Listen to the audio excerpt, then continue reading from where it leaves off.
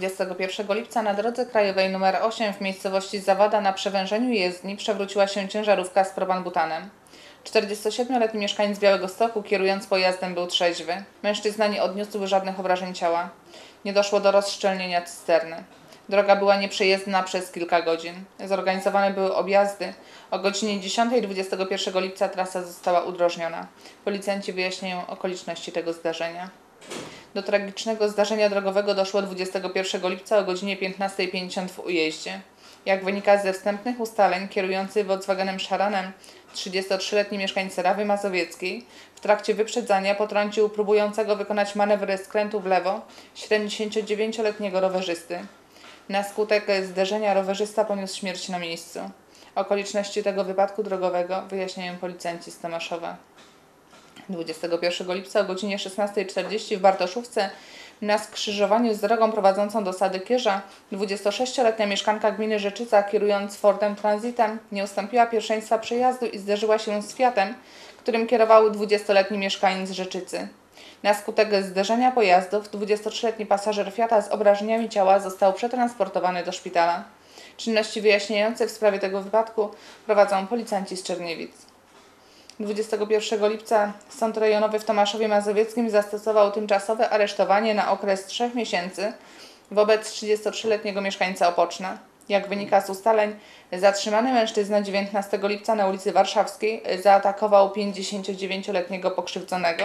Następnie ukradł mu zegarek, pieniądze w kwocie 30 zł i uciekł. Po kilkunastu minutach napastnika szukali policjanci. Kryminalni w okolicy miejsca zdarzenia zauważyli mężczyznę odpowiadającego rysopisowi. Rozwojarz początkowo nie przyznawał się do zarzucanego mu czynu, później sam wskazał ukryty w ziemi łup. Zatrzymany mężczyzna był pijany, miał w organizmie ponad 1,5 promila.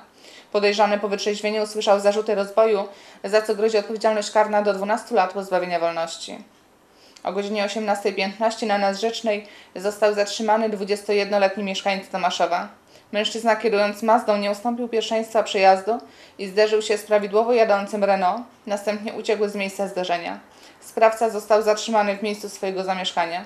Dmuchnął w alkotest ponad 2,3 promila. Czynności wyjaśniające w tej sprawie prowadzą policjanci z Tomaszowa. Kilka minut po godzinie 19 w Mikołajowie został zatrzymany kierujący Fiatem 35-letni mieszkaniec powiatu tomaszowskiego. Mężczyzna na skrzyżowaniu w Rokicinach cofnął swoje auto i wjechał stojącego za nim Volkswagena Passata. Następnie próbował uciec z miejsca zdarzenia.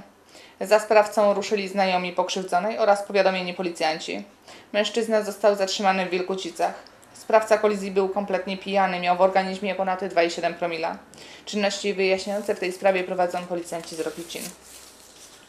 25 lipca o godzinie 15 na Piaskowej policjanci ruchu drogowego zatrzymali 46-letniego mieszkańca powiatu tomaszowskiego, który kierował starem. Mężczyźnie alkotest wykazał 2 promile. Czynności wyjaśniające w tej sprawie prowadzą policjanci z Tomaszowa.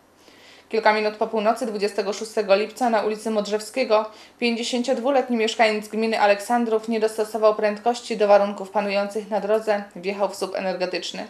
Jak się okazało, kierowca był pijany, dmuchnął alkotest 1,5 promila.